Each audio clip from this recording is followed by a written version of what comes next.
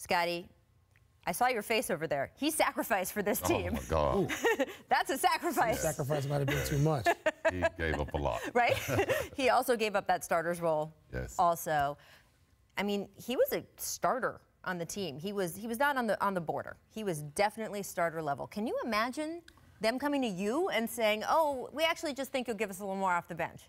You know what? That just goes to tell you that the game is bigger than any individual, and him using this as an example, coming off the bench, sacrificing, not being an all-star for years, uh, just giving up that superstar role completely and sacrificing for the benefit of the San Antonio Spurs, the championships that they've won. Um, you know, when you win, good things come out of it. And this is a prime example of a guy that believed in that. Yeah. You know, he's sitting here now, so the story's not as good because Scottie's here.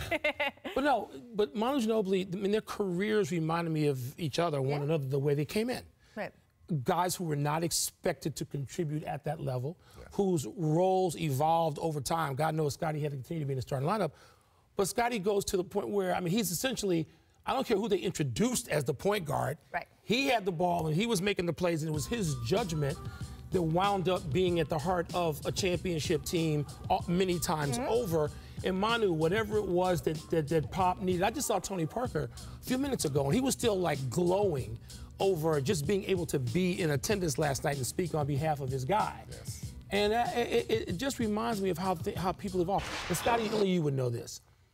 What the ability to practice against with the players you practiced against and with every day, and the player and the man you were coached by, particularly the second half of that career, that reminds me of Manu too. How, how important is that in terms of the development of a player who goes from small situation, not much expected, to boom? I, I think it's very important because I think as a player, you have to sacrifice no matter what. And uh, there's no player in this game that has sacrificed more than this young man. If you had, if they had come to you, if Phil Jackson had come to you and said, "You know what, Scottie, I, I just I need you to come off the bench," how hard would that have been? It wouldn't, it, wouldn't have been a good fit for me. And especially with a lot of the controversy of Toni Kukoc Right, coming right, there. You know, it- it- Oh, was there wouldn't have- controversy wouldn't over that? I don't- Yeah, it was I a don't little bit of controversy. but I, I just don't think I was cut out to be a player to come off the bench. Mm-hmm. I believe that I was cut out to be a leader, and that was the role that I only accepted. Mm-hmm. But, you know, you look at what Manu did. Uh, I take my hat off to him. And the fact that he did it with class, and he did it under one of the toughest coaches. Most guys would have, like, trade me. I, I don't want to play for this guy. He's Right. yelling. He's not starting me. But he, he took it like a man, and look at the huge reward of getting your jersey hung up. Yeah, well, you saw those four trophies behind them during the ceremony last night.